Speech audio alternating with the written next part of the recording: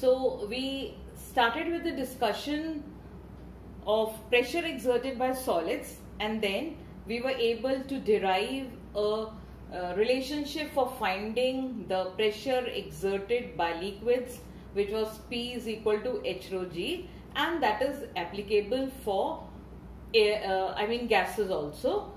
Now we come to the fact about atmospheric pressure. Now see we all know that earth is surrounded by blanket of air which is known as atmosphere. Now this atmosphere is comprising of air. So air has weight and since it has weight it will be exerting a thrust. That thrust on a unit area gives us the pressure. So we say that atmosphere exerts pressure which is known as atmospheric pressure and we can define it as the thrust exerted per unit surface area of the earth due to the weight of air column above it. Now the SI unit remains the same Pascal. Common units are bar and torr. 1 bar is equal to 10 to the power of 5 Pascal whereas 1 torr is equal to 133.5 Pascal. Now children there is the value of atmospheric pressure is quite large. It is approximately this much and this much pressure is acting on us. But do we feel the atmospheric pressure? Definitely not. And the only reason for not feeling the atmospheric pressure is because of our blood pressure. Because the pressure exerted by our blood balances the outside atmospheric pressure. Then we come to what are the consequences of this atmospheric pressure. Before we do that, there is one thing which you need to remember that a movement will always take place from high pressure to low pressure. Anything will move from high pressure to low pressure. So over here, I have first given you an example over here. You can see a straw and this is a straw which you use for drinking the cold drinks. Now does the cold drink come into the straw on its own? Never. You have to suck air through this. When you suck through air through this, what happens? Inside the pressure becomes less because the air has been sucked in.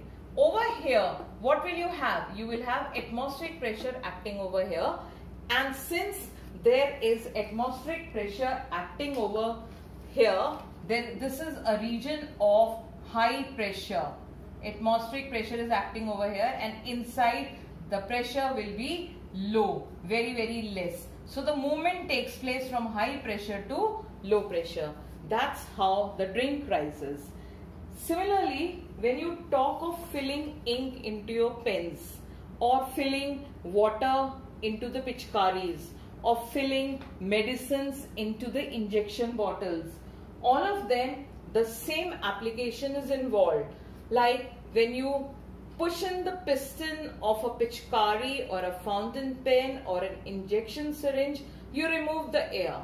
And when you insert it inside the medicine or the water or the ink, whatever you are doing, then there's on the surface, there will be high pressure like over here.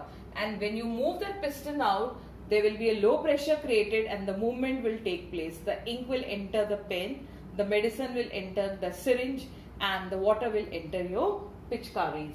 So these you can understand that how important it is to have uh, atmospheric pressure over um, uh, I mean how important atmospheric pressure becomes when it comes to these kinds of activities. Now when you want to measure atmospheric pressure then we have three kinds of instruments. So the three devices that we use for the measurement of atmospheric pressure are simple barometer, Fortin's barometer and aneroid barometer. Simple barometer is uh, a first attempt to measure atmospheric pressure.